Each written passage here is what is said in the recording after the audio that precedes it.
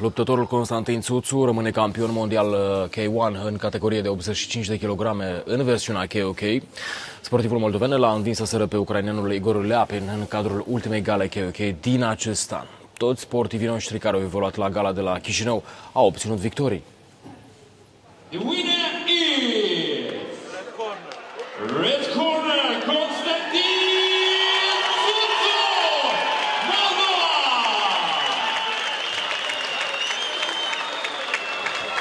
Constantin Țuțu l-a întâlnit pe Igor Leapin în cel mai așteptat duel al seriei la gala KOK de la Chișinău. În runda secunde, luptătorul moldovean l-a trimis pe cel ucrainean de două ori pe podea. Leapin a rezistat și a terminat în picioare partida. Țuțu a câștigat la puncte, apărându-și astfel centura de campion mondial la K1, în categoria de 85 de kilograme în versiunea KOK. Am știut aproximativ că va fi așa o luptă de grea și o să fie toate 5 runde și pentru asta și m-am pregătit. M-am pregătit intensiv, m-am trudit din toate puterile ca să lupt, să arăt o luptă frumoasă și mai mult ca aici acasă. Pot să pierd. Я, я, я знаю, что сейчас буду лучше тренироваться, вот, чтобы такого больше не происходило. Это как бы спорт ну, бывает.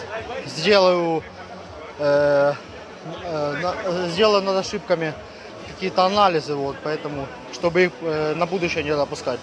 Iar moldoveanul Sergiu Morari a câștigat piramida în categoria de 77 de kilograme, iar în finală l-a învins pe un adversar din Estonia. Ca orice luptă, eu n-am dat pasul înapoi, m-am stăruit să câștig, m-am stăruit tactic, în unele momente să înving o leacă. Azi e ziua de naștere a lui prietenul nostru Stepan Cărlic și victoria asta ea e de Diclui și soției mele și părinților mei.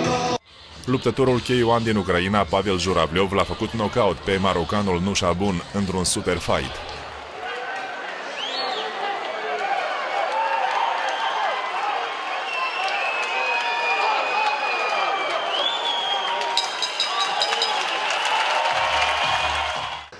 Э, Я не хотел торопить события, потому что э, как работает соперник, я вообще не знал. Вообще не знал, что он, что он преподнесет, тоже было неизвестно. Вот, поэтому, собственно говоря, в третьем раунде мы все и закончили. Unul dintre cei mai promițători luptători K1 din Moldova, Stanislav Reniță, a disputat un super fight cu scântei în fața lui Isam Lazibi.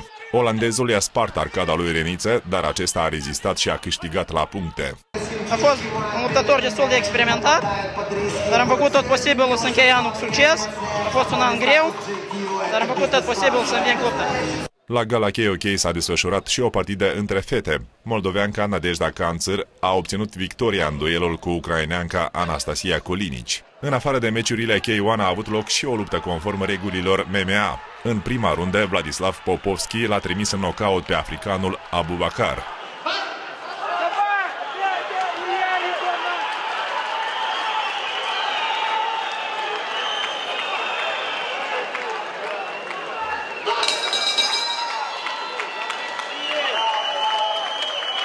Ultima gală KOK din acest an a fost una superbă pentru sportivii moldoveni. Luptătorii noștri au obținut doar victorii în cele 12 partide disputate. Au fost lupte frumoase, lupte incendiare, după cum am promis ieri.